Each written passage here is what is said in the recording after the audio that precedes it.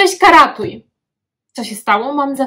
Krysia, mam za dwa tygodnie wesele i muszę jakoś schudnąć, żeby się wcisnąć w tę czerwoną sukienkę z zeszłego roku. Ale ja patrzę, że ja od zeszłego roku to kilkanaście kilo przytyłam i za nic mi nie idzie to wciśnięcie. Kryśka, jak ty robisz, że ty taka chuda jesteś? Przecież jesteśmy w tym samym wieku. A tam mi o jakichś samokontrolach opowiadasz. Kryśka, ja wczoraj spotkałam tę Maryśkę, pamiętasz? Z liceum. Ona jest taka sama chuda, jak i była. Jak wy to robicie? No i co ja robię? No robię, oczywiście. Próbuję biegać. Czasem wieczorem kończy się siedzeniem przed telewizorem, YouTube'em. No zamówiłam sobie też catering dietetyczny, ale Krysia, jak te porcje przedwczoraj i wczoraj do mnie przyszły i jak zaczęłam na obiad te małe porcyjki, kiełki jeść, to żebym się głodna od razu zrobiła i wszystko naraz zjadłam. Co? Nowosielskiej mam posłuchać? Dobra, zobaczę co na ten.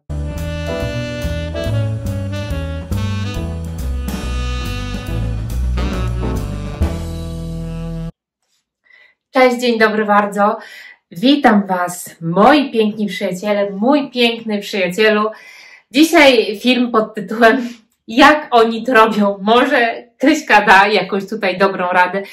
Jak to robić, żeby jeść i być szczupłym? Jak to, co więcej, jak to robić, żeby wszystko jeść, a być szczupłym? Są na to pewne metody, pewne nawyki, bo to wszystko jest kwestia nawyków, jak ja tutaj Tobie często mówię, jak już wiesz z moich poprzednich filmów, człowiek to jest nawyk. Ja jestem człowiek nawyk. Człowiek działa nawykowo w bardzo wielu aspektach swojego życia, chociaż nawet sam o tym nie wie, tak nawykowo z rana pije kawę zamiast herbaty, czy nawykowo z rana chwyta najpierw za szklankę wody z cytryną bądź bez. Także to jest wszystko kwestia nawyków. Y, jak ludzie to robią, że mają dobre nawyki żywieniowe, o tym zaraz powiemy.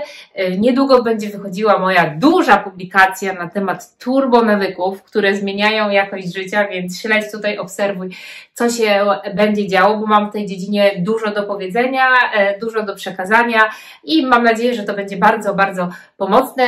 Na Instagramie codziennie się dzieje w tej kwestii coś relacji nawyków, więc tam zapraszam do obserwowania mnie i oczywiście do subskrybowania subskrybowania tego kanału, jeśli jeszcze tego nie robisz, ponieważ subskrybowanie, jeśli zostawisz komentarz, naciśniesz dzwoneczek, to pozwala mi się rozwijać, a jak, jako twórcy i jeśli uważasz, że moje treści są wartościowe, no to pozostawienie tutaj śladu po sobie, subskrybowanie będzie mi po prostu e, nie tylko sprawiało przyjemność, ale będzie mi się pomagało tutaj rozwijać na YouTube. Jak to jest, że ludzie jedzą wszystko i są szczupli? No ja tak troszkę mam. E, nie tyję, a jem wszystko tak naprawdę. Rozmiar mi się nie zmienia. Jestem gdzieś pomiędzy rozmiarem 34 a 36 to zależy od tego, no, jaka firma, jaki krój ubrania, i tak dalej. Kiedyś, jak już wiesz z poprzednich filmów, gdzieś Ci tutaj podawałam, że ja kiedyś tak, miałam taki okres w życiu, że schudłam 5 kilo, nie miałam jakiejś nadwagi, ale to wynikało z innych różnych um, zawirowań życiowych, trudności i tak mi już zostało i w zasadzie utrzymuję bardzo podobną wagę już od długiego, długiego czasu. Od razu ostrzegam, że to jest film, tutaj o nawykach żywieniowych, dla osób i mój przykład, ja jestem osobą zdrową, nie mam żadnych takich problemów z hormonami, e, żadnych celiaki, e, problemów z nietolerancją glutenu i tak dalej, więc to jest film dla osób bez takich problemów, ale być może też, które mają e, problemy z, z wagą i też się chcą schudnąć i myślą, co tu zrobić i jak to zrobić. Ostatnio Ewa Chodakowska na Instagramie poinformowała, że ją zawsze dotykało to, że na przykład jej tata mówił, że ona była taka szczupła, że ona to nic nie je, niech ona to zacznie jeść, e, bo tylko chodzi jak e, taka chuderlawa osoba i straszy wszystkich. No taki między innymi był przekaz. Ewa Chodakowska, jak domniemam, należy do osób, które po prostu są z natury szczupłe i ona przypuszczam, że gdyby jadła nie wiadomo ile i nie wiadomo jak, to i tak by była szczupła. Nie wiem, czy to jest szczęście, czy nie. Pewnie jest, e, ale no dla niej to też był problem i dla wielu osób szczupłych to też jest problem, że mają takie docinki, że czemu one są takie chude. Tak samo, no nie powinniśmy oceniać, że ktoś jest tam gruby, ktoś jest chudy i pytać go, dlaczego on taki jest i dlaczego nic z tym nie zrobi. Nie wiemy, z czego to wynika. Co więcej, jest takie zjawisko w Stanach, ja kiedyś o tym słyszałam, że, że są osoby, mm, szczuple, o tyle szczupłe, jakoś tak, czy szczupłe o tyle, tak jakoś się to nazywa, że to są, są, są to osoby chude, e, wręcz chude, ale mm, mają te osoby taki problem, że one jak są chude, to wydaje mi się, że one mogą wszystko jeść, bo i tak im nic nie jest, a później się okazuje, że one są bardzo wewnętrznie chore, że te organy y, są niezbyt zdrowe, wątroba i tak dalej, ponieważ one bar jedzą bardzo niezdrowe jedzenie śmieciowe, więc nawet jeśli jesteś szczupły, szczupła e, i uważasz, że możesz jeść wszystko i nic ci nie będzie, to mimo wszystko warto zadbać gdzieś o jakość tego jedzenia, bo mimo wszystko no, Część nowotworów, no onkolodzy szacują, że 30% bierze się z tego, że po prostu są złe nawyki żywieniowe, jedzenie jest nasączone różnymi chemikaliami i tak dalej, więc warto o to zadbać. Stawiam temat chorób i podam Wam teraz trzy powody, które sprawiają, że ja jem wszystko, a mimo to jestem szczupła. To są moje małe tajemnice. Po pierwsze, samokontrola. Nawyk samokontroli, który ja kształcę już od dawien dawna w sobie, samokontrola, samodyscyplina, jak zwał, tak zwał, e, to są synonimy. To jest coś, co naprawdę pozwala mi w wielu aspektach mojego życia, nie tylko żywieniowych nawyków, e, ale także w pracy, w moim pisarstwie, w rodzinie, w relacjach, naprawdę wypływać na coraz to szersze i szersze wody. Bo samokontrola to jest coś takiego, że ja coś robię, ale umiem powiedzieć sobie stop. Oczywiście ja nie jestem doskonała, ja też czasem upadam i też czasem pewnie zda, zdarzy mi się zjeść za dużo cukru, za dużo słodkiego niż zakładałam, ale ten nawyk samokontroli to jest jednak bardzo coś takiego, co trzyma mnie mocno przy życiu, dzięki czemu mocno stąpam po ziemi. Nawyk samokontroli jest o tyle dobry, że ilekroć uda mi się powstrzymać przez, przed zrobieniem czegoś, co nie jest dla mnie dobre, na przykład przed spożyciem właśnie zbyt dużej ilości cukru, zbyt dużej ilości białej mąki, która wiemy, że jest ograbiona z wszelkich wartości. To są takie proste węglowodany, które w zasadzie żadnych wartości odżywczych naszemu organizmowi nie dostarczają, ale ilekroć uda mi się y, powstrzymać przed zjedzeniem za dużej ilości tego, ja czuję wewnętrzną siłę. Ja czuję wewnętrzną moc i to jest taka moc, że ona mi daje większą pewność siebie. Ilekroć powstrzymam się przed zrobieniem czegoś, co wiem, że nie jest dobre dla mnie, ilekroś zapanuję nad swoimi jakimiś złymi emocjami, zaakceptuję je, zazdrość, złość, rozgoryczenie, frustrację, zaakceptuję, że to jest, ale spróbuję no, nad tym zapanować, tylekroć czuję się e, mocniejsza, Rozumie, rozumiesz o co chodzi? Ilekroć nie domagam, tym czuję się mocniejsza. E, bo ten, ta samokontrola, samodyscyplina powoduje, że ja e, buduję taki szacunek sama do siebie. Czuję się mocniejsza, że okej, okay, wiem, że to mi się udało zrobić, wiem, że jestem w stanie rano na przykład ćwiczyć, e, wstać, wiem, że jestem rano w stanie bardzo wcześnie wstać, to, to ja przez to dużo bardziej w siebie wierzę i wiem, że po prostu mam dużo moc w sobie i jestem w stanie dużo zdziałać. Boję się, jak na niektóre jakieś nowe obszary wychodzę, tak wypływam z tak zwanej strefy komfortu. Boję się, gdy moja książka nowa wychodzi i się zastanawiam, czy się spodoba, czy nie. E, tutaj tobie, wam.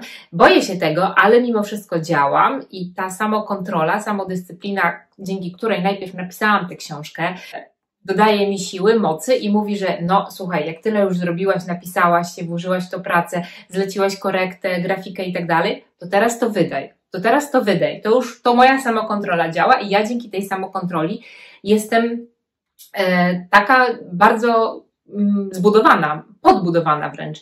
I właśnie ta, ta samokontrola bardzo się przydaje w jedzeniu.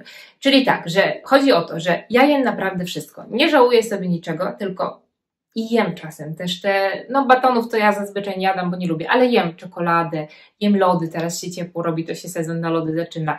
Jem czasem tą białą mąkę, jem paluszki, jem czasem naleśniki z białej mąki. No, no niestety, z niczego nie smakują tak dobrze naleśniki jak z białej mąki. Próbowałam z wszystkich innych zdrowszych. Czasem robię, ale z białej są najsmaczniejsze te bułeczki też. I czasem też mi się zdarza to jeść, tylko że ja mam coś takiego w sobie i to wykształciłam. Kiedyś tak nie było, ja to na studiach sobie trochę wykształciłam, jak byłam, że zjem i mówię stop. Mówię sobie stop, ok, więcej nie. Posmakuję trochę, zjem na przykład tego jednego naleśnika czy półtora i mówię, że już więcej nie chcę. I umiem się powstrzymać. Nie wiem, chyba nawet ja nie, nie robię tak, że jestem tak do pełna najedzona, także aż nie dam rady wstać od stołu. Raczej tak mi się nie zdarza. Czasami na weselach, bo tam człowiek nawet jak wszystkiego popróbuje, bo jest dobry, to i tak się czuje przejedzony, ale raczej nie mam. I też umiem zjeść tabliczkę czekolady, dwie, trzy, znaczy chodzi mi o tak, taką malutką tabliczkę i powiedzieć sobie stop, więcej nie chcę. E, I to właśnie tak działa samokontrola jak byłam we Francji i to widzę, że to wszyscy mówią, którzy tam mieszkali, wszyscy, którzy kręcą film o francuskach na YouTubie czy o Francuzach, że Francuzi właśnie sekretem Francuzów jest to, że oni jedzą z umiarem.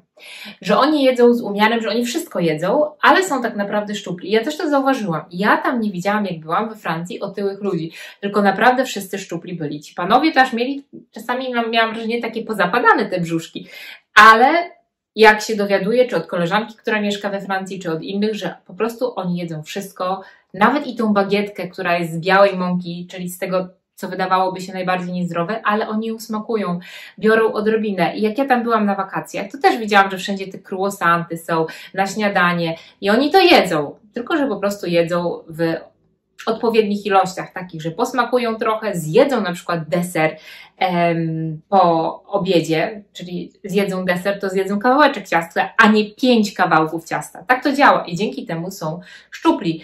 E, samokontrola na pewno jest u Francuzów dobrze wykształcona. Drugi mój taki nawyk, e, dzięki któremu jestem szczupła i jem w zasadzie wszystko, to jest taki, że ja tym jedzeniem takim, no czasem śmieciowym, staram się nie obiadać na noc. To już Ci mówiłam też w poprzednim filmie, że e, nie wiem, czy to jest intermittent fasting, czy nie, ten post teraz, ale tak 17, 18 to się staram, żeby w normalny dzień tygodnia to u mnie było skończone jedzenie. E, aż do rana następnego dnia, dlatego że ja zauwa zauważam, że jak mam pusty brzuch przed snem, lepiej mi się śpi, lepiej mi się to wszystko trawi, jak daję czas organizmowi, żeby przytrawić. Oczywiście też czasem zdarza mi się zjeść słodycza, nawet wieczorem.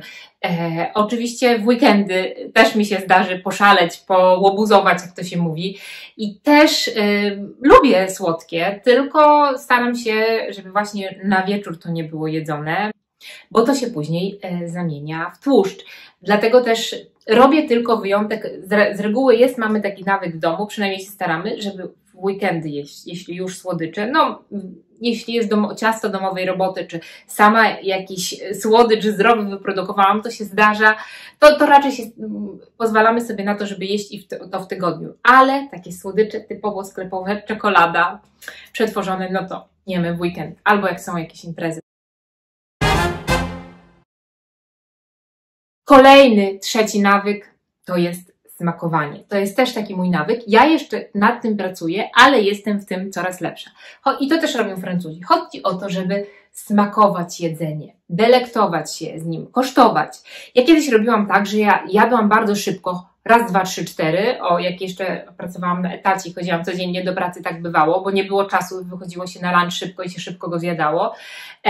Później miałam taki okres, że zwolniłam, ale na przykład jak jadłam obiad, to włączałam sobie jakiegoś YouTube'a, czy coś oglądałam w czasie w tym czasie. I to jest z jednej strony dobre, bo to sobie niby oglądasz, a może niby jesz, a możesz oglądać coś wartościowego, ale jesz i tak naprawdę nie jesteś świadomy tego, że jesz. Jesz, jesz, oglądasz coś i skupiasz się na tym, na co oglądasz, ale tak naprawdę um, zjadasz i nawet nie zauważasz tego i wydaje ci się, że jesteś cały czas głodny i idziesz po dokładkę. I tak to działa.